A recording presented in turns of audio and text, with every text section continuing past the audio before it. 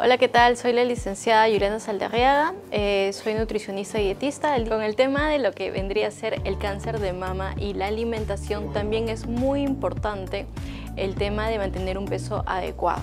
Se relaciona mucho lo que es la obesidad con el cáncer de mama, por eso eh, el oncólogo tratante va a pedirle a la paciente que mantenga un peso adecuado, por lo cual debemos considerar que hay alimentos que se deben consumir en menor cantidad o evitarlos, ¿no? principalmente lo que son las frituras o lo que son los alimentos procesados, lo que son las grasas.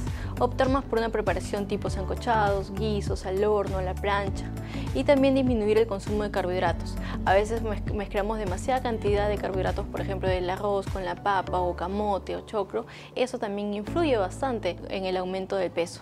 Adicional ¿no? de que por la misma enfermedad a veces no se realiza una actividad física frecuentemente y deberíamos incluirla también en el día a día.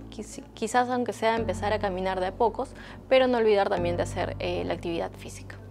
Soy la licenciada Juliana Saldarriaga, nutricionista y dietista. Cualquier cosa pueden seguirme a mi Facebook, que me encuentran como nutricionista Julia Saldarriaga, o igual por mi Instagram.